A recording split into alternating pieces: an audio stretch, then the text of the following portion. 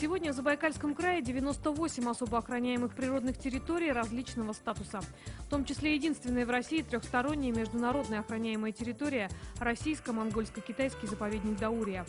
Появление в Забайкале трех новых заказников – результат длительной работы ученых, сотрудников Министерства природных ресурсов. Ну, очень рады мы, что мы в октябре приняли, э, образовали два заказника регионального значения реликтовые дубы и Семеновский. Долго очень работа у нас шла, особенно по реликтовым дубам. Все-таки мы нашли компромисс с нашим бизнесом, потому что там были и э, участки были под заготовку леса и под развитие, э, ну, в общем, развитие геолого-развиточной отрасли. Ну, все-таки мы мы очень рады, что мы его создали, пусть территория будет небольшая, но в дальнейшем при отработке месторождения возможно включение дополнительных территорий в территории данного заказника. Базой для создания новых заказников послужил специально созданный региональный закон об особо охраняемых природных территориях, принятый в 2010-м. При этом трехлетний срок для создания заказника считается очень коротким. На новых особо охраняемых природных территориях скоро начнется работа. Созданы были два заказника регионального значения в Балийском и Газимо-Розовском районе.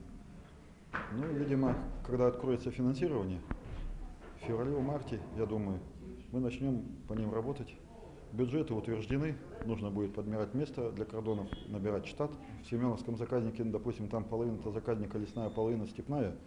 И вот в той степной части сурок, монгольский тарбаган, э, монгольский сурок, тарбаган, то появляется, то исчезает. Но появится, исчезает по той причине, что как только появится, его сразу там уничтожают. И вот мы надеемся, ну, уверены, что будет заказник, а, он там приживется, жить будет. В 2012-м планируется преобразовать территорию, на которой находится озеро Арей в природный парк. Это поможет сохранить уникальный водоем. В следующем году край планирует продолжить работу по участию в Байкальской федеральной программе. Согласно документу, будут построены очистные сооружения в Красном Чекое и Петровске-Забайкальском. Это позволит в будущем рассчитывать на федеральные средства. К сожалению, в связи с дотационностью бюджета нам на 2012 год только предусмотрели 3 миллиона. И мы туда включили наш заказник горного э, регионального регионального значения «Горная степь». Он у нас создан был очень давно, а, и мы, естественно, на себя взяли обязательства при его создании, то есть финансирование, содержание, развитие данного заказника. У нас заключено соглашение с Дальневосточным отделением а, Фонда дикой природы. А, мы с ними сотрудничаем уже на протяжении, наверное, пяти лет. Каждый год вот у нас соглашение, ну, такая форма, так сказать, сотрудничества, и составляем план работы, то есть подкрепляем это соглашение конкретными мероприятиями.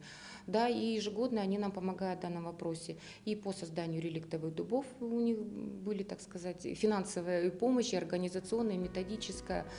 В 2012-м у Забайкалья есть реальный шанс вплотную приблизиться и к другой цели – созданию национальных парков Красночекойский и Кадар. Ирина Трофимова, Дмитрий Пенигин, Сергей Рычков. Время новостей.